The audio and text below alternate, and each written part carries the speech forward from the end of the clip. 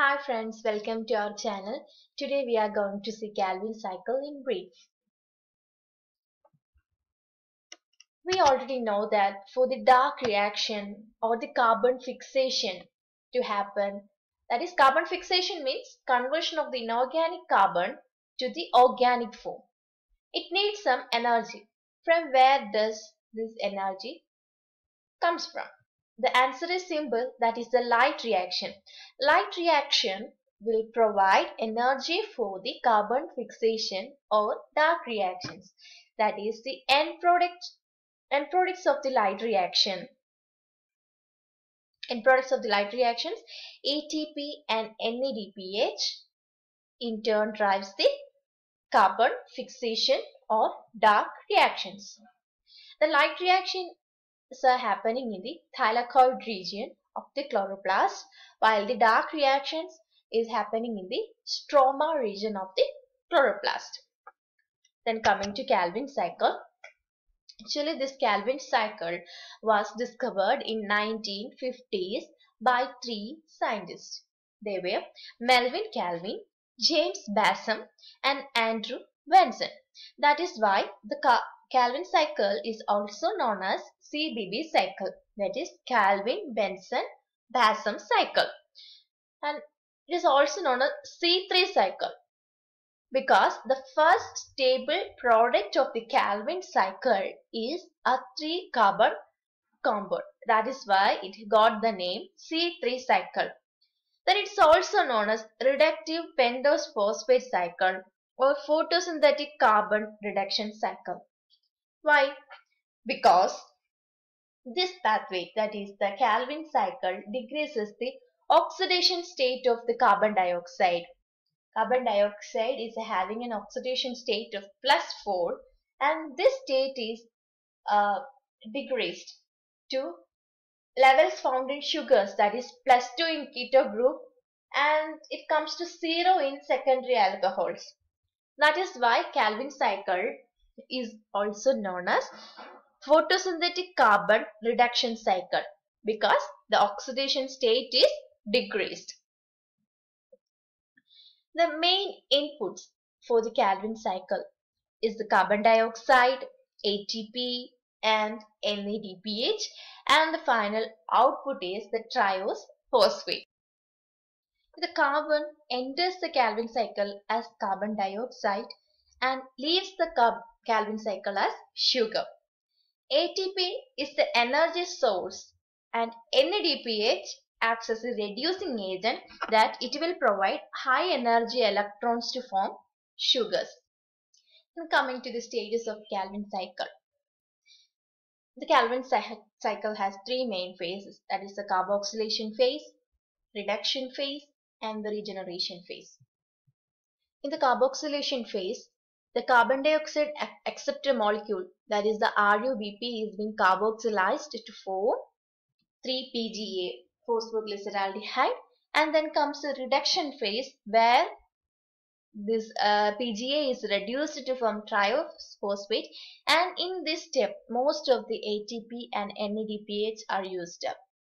And then this triose phosphate, one of the triose phosphate is exported to form glucose and other compounds and rest of the cycle convert the carbon carbon in the triose phosphate back into the 5 carbon acceptor molecule that is RUBP.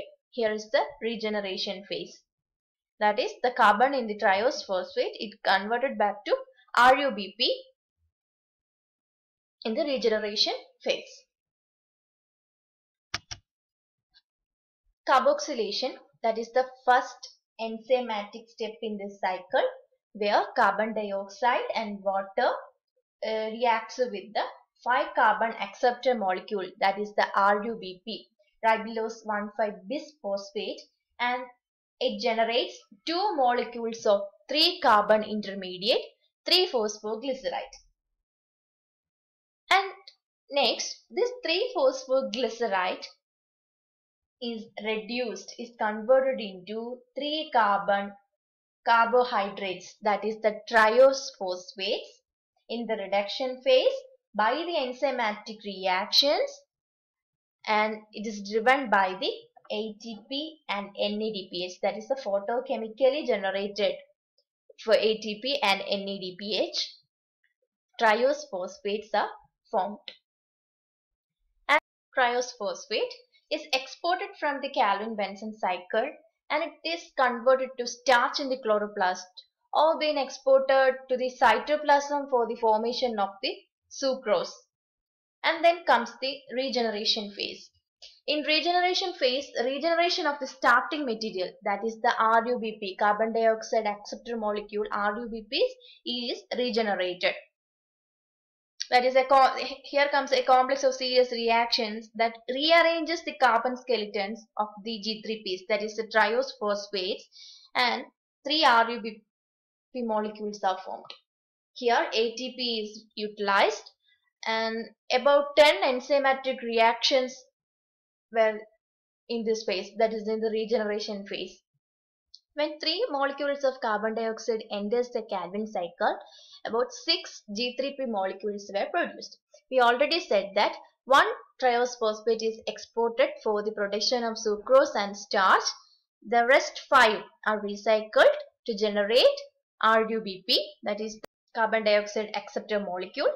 This RUBP is regenerated to begin the cycle again. Here is a summary of the Calvin cycle. Three molecules of carbon dioxide combines with three molecules of ribulose bisphosphate that is the carbon dioxide acceptor molecule making six molecules of G3Ps that is glyceraldehyde 3-phosphate or triose phosphate. From the six molecules of G3Ps, one G3P molecule exits the cycle and goes towards making glucose. And the rest 5 G3P molecules are recycled, regenerating 3 RUBP acceptor molecules. In total, 9 ATP are converted to 9 ADP. Most of the ATPs, that is 6 ATPs are fixed, are utilized during the reduction phase and 3 ATPs are utilized during the regeneration phase. That is conversion of the triose phosphate to RUBP. 6 NADPH are converted to 6 NADP plus during the fixation step. That is reduction of the PGA to triose phosphate. A G3P molecule contains 3 fixed carbon atoms.